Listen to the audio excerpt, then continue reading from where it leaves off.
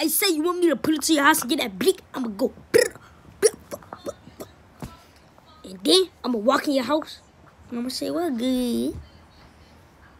And then if you got a dog, I'ma shoot that dog and I'ma kill you.